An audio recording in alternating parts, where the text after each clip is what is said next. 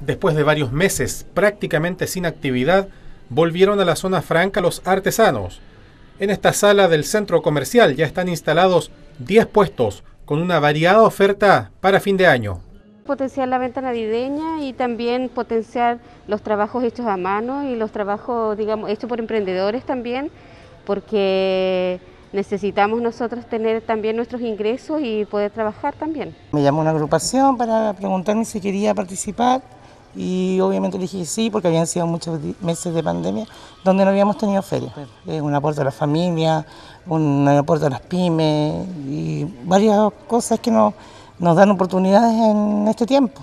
La feria estará funcionando aquí hasta el 31 de diciembre con atención desde las 11 de la mañana hasta las 6 de la tarde.